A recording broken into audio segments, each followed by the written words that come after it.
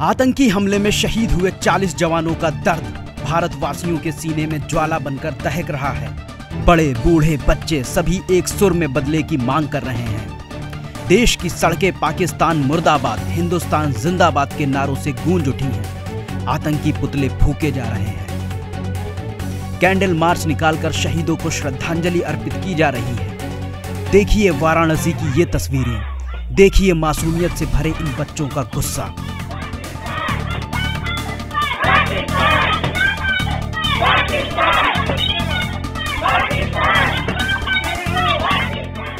बच्चों के हाथों में उनकी भावनाओं की तख्ती है और कंधों पर पाकिस्तान की अर्थी।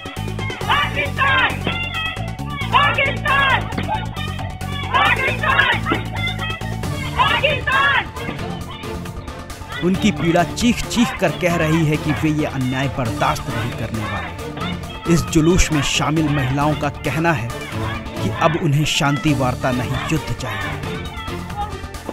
जो पुलवामा में शहीद हुए हैं हमारे जवान, उनके लिए हम लोगों ने निकाला है ताकि पाकिस्तान के खिलाफ हमारी सरकार कार्रवाई कर सके और धारा तीन सौ सत्तर अब पीओके को आज़ाद कराए। अब हमें शांति वार्ता नहीं चाहिए, हमें युद्ध चाहिए। हम उन बयालीस की जगह, बयालीस सौ को चाहते हैं।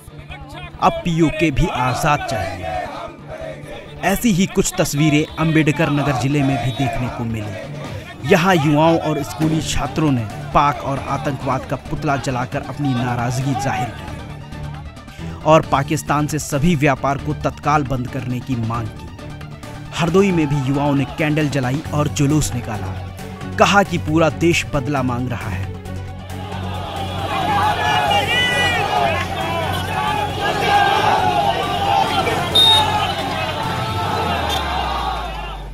लखनऊ में भी व्यापारियों ने कैंडल मार्च निकालकर शहीदों को श्रद्धांजलि अर्पित की और आतंकवाद के खिलाफ रोष जताया।